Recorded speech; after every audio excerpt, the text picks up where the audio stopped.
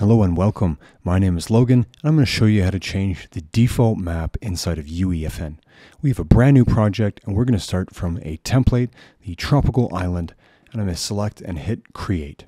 Inside of the tropical island, we have this map and it's great. I wanted to use it as a reference, but I don't actually want to use this map for my game. I'm going to use a different map. So I'm going to go up and create a new level, go file, new level, and select a different template. I don't actually want a tropical island. I want to go to the Oasis Island.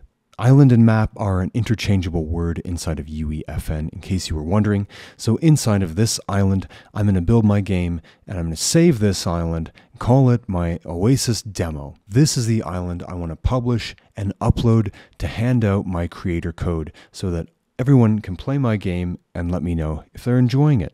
When we go to launch the session and we are not in the default map, this is the message that will pop up. It will ask you if you want to play the current map or the default map.